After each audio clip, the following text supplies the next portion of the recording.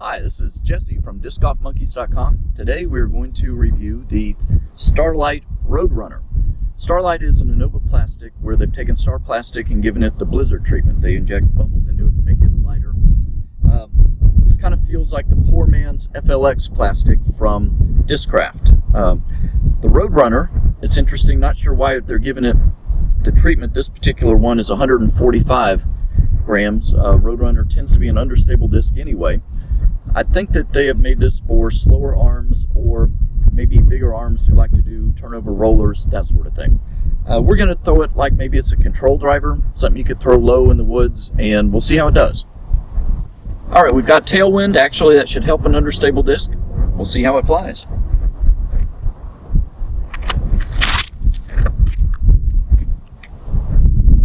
That was not nearly as understable as I expected. Stayed nice and slow and very straight.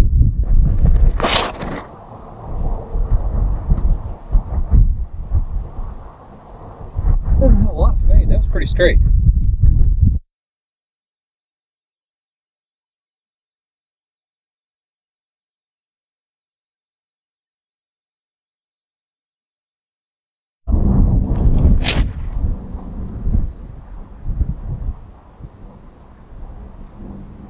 That's how to throw it.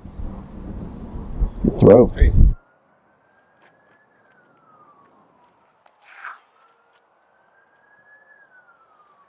don't have to put any on it.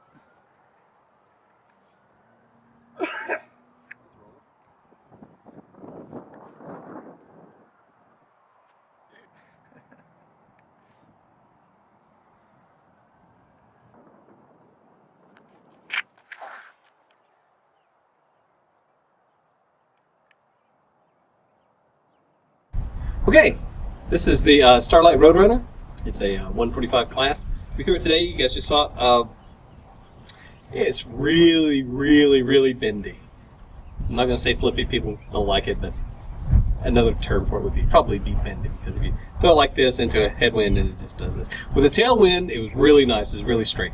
Uh, I guess on short holes and uh, probably for uh, maybe slower, weaker arms, this would be an awesome driver for.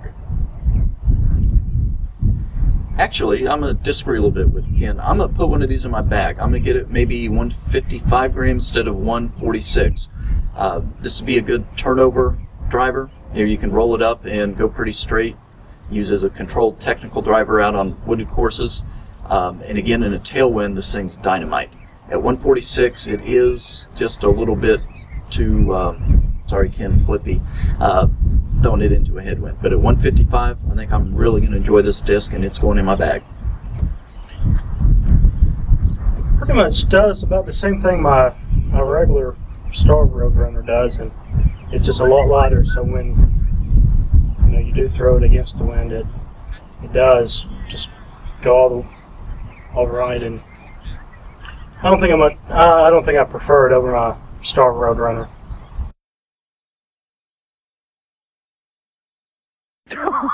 Oh, the camera was rolling!